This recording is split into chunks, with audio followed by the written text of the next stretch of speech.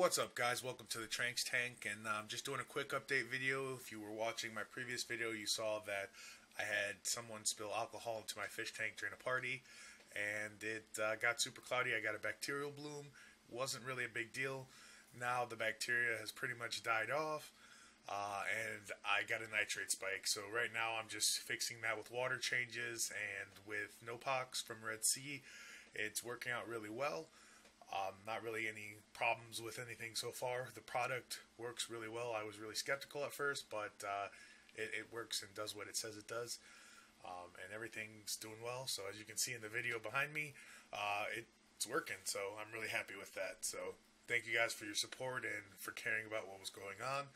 Um, hopefully you guys are liking the content and happy with the fact that my fish tank is doing better. So thank you guys for watching.